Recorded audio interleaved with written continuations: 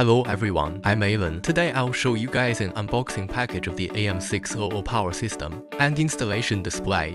The first is our AM116A ESC. Then this is our AM600 motor. You can see that it also comes with a propeller, an extension cord for connecting to AM link, a certificate, pack of desiccant. Then there are some spare parts packages such as motors. You can see that it is a cooling fan for the ESC and some spare screws and capacitors from it. It also comes with these three long cable ties. There should be another propeller. You can see this is another spare propeller. And then there are these three inside, this tiny heat shrink tube.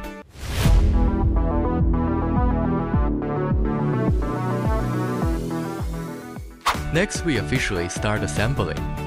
Butterfly board is good, let's fix it to this frame. First, this screwdriver tip has a diameter of 3mm. Come and put this screw in. This is the paddle base of the motor. Then align it. Then use this machine screw. Use a 2.0 diameter screwdriver with a diameter of 2.0 and the blade to fix it. Then we install the ESC with its own cooling fan. You can see that there is a flat layer on it. This side is facing up. Then our fan also has a small interface.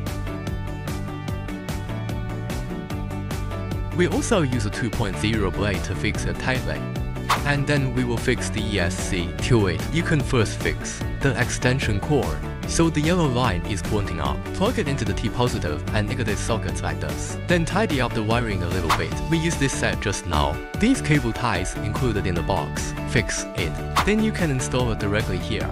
Our AM link. We saw the reverse side, which has this private seal. Then there is the ESC written here. This port, okay, then aim at this socket, plug it in, and then plug in the return line. You can fix it on the reverse side.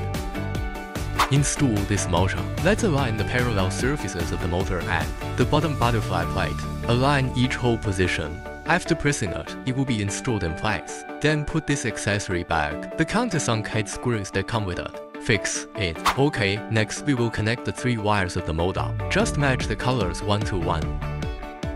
Let's simply fix it with a tag. Let's install the pedals on it first. The side with the words is facing up. Then put this gasket on first. Then this raised nut on the side. Screw it on. Then put this nut. Install it on the concave side. Last step, let's install this receiver on it. Let's plug these two wires into the receiver first, then we plug it into this AM link.